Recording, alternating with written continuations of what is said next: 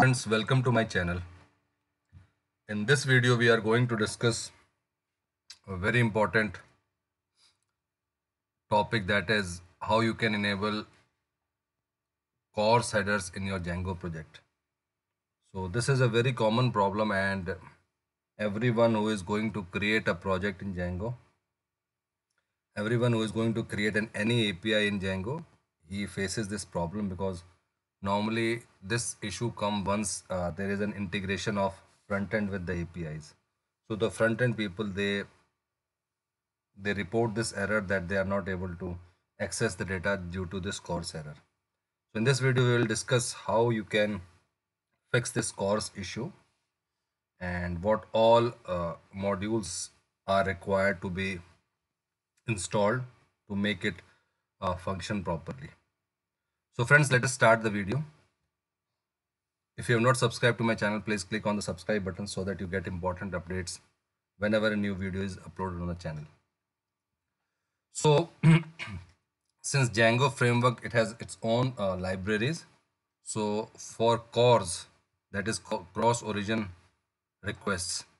So you have to first install this Django pip install Django CORS headers. So this is the module that you need to install and in Django as you know whatever you install you need to mention that in your settings.py so for every new module there is an application app dot app created application created and whatever application that you are creating you need to mention this. So once you have installed this then you need to update your settings.py so there are three sections that needs to be updated. So this is very very important if these three things are not followed properly then the CORS issue will not be fixed. So first thing is you need to scroll down and go to the installed app section and then you have to put this CORS headers in the list of installed applications. So that tells Django that okay now Django is capable of handling CORS second thing is middleware. So middleware is you need to mention this course CORS headers.middleware.CORS middleware. So this will automatically allow or fix the CORS middleware issue.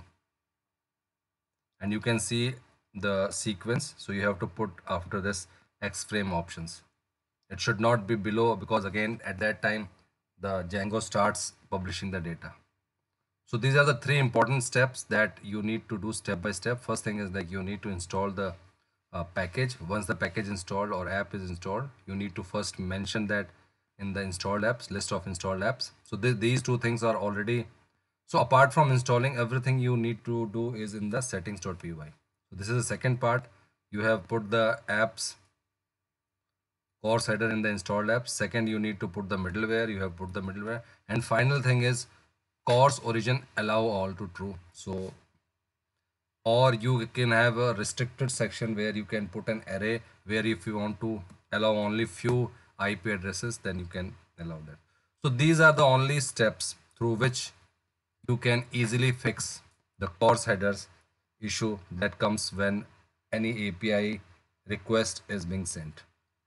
So friends this was all about how to enable CORS headers in your Django project.